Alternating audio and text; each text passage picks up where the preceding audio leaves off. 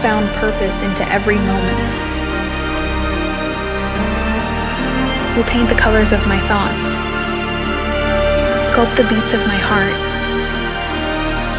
and whisper the desires of my soul, whose love knows no bounds, diving deep without fear into the depths of affection.